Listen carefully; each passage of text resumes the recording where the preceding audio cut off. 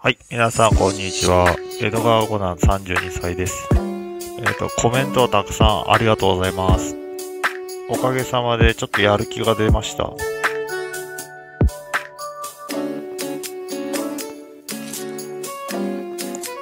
や、あのカニちょっと食べれるか今度やってみたいと思います。えっと蜂の巣を見つけたんですけど、蜂はすっかりいなくなってますね。多分雨でやられたんだと思います。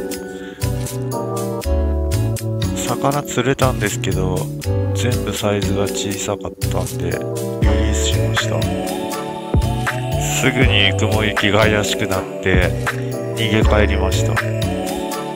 えっ、と太陽のところを見てもらったらわかるんですけど多分イカの呪いだと思います。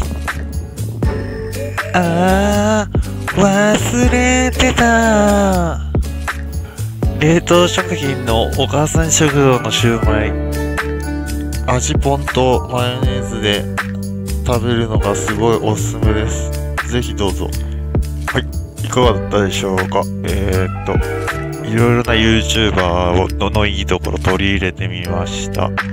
それでは皆さん、さよなら、さよなら、さよなら？チャンネル登録者大歓迎。コメントバンバン受付中。次回があるかもわからない絶対絶命のこと、